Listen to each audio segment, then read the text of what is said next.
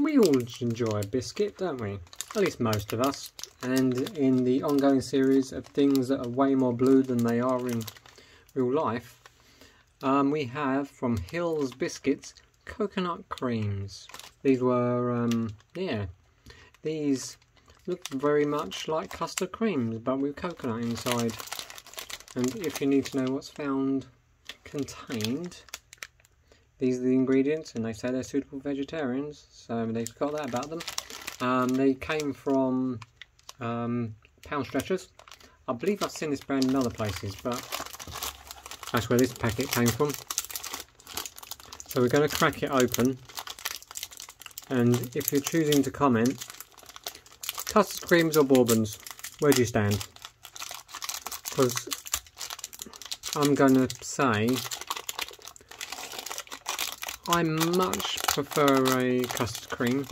At least that's my thoughts right at the minute. Whilst I try to extract a biscuit from this packet. With not much success at the minute. I'm trying to extract two at once. Oh, we got it. So here it is in the flesh. In a really good close-up. There is breathing the biscuity goodness. And um, yeah, that smells coconutty. So let's go have a coconut cream with um with um biscuit. But it does very much look like custard cream. So um here we go. Um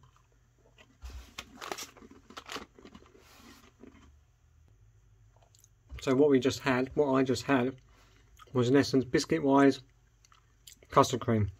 Custard cream all the way. Just with coconut cream inside instead of the custardy cream that they have. And it's quite good. This is a good biscuit. it's yeah, it's something you could happily serve to your friends with tea if you're so inclined. And they did have other flavours, but I just went with coconut because why not? Coconut. Yeah, definitely, definitely something to pick up if you're in the market for a cream-filled sandwich biscuit. And um, that is the recommendation. Um, thanks for watching this video. Um, yeah, thanks really. Um, comment if you wish. Um, please do share, subscribe, like as well if you want to. Um, yeah, you can. Please do, though.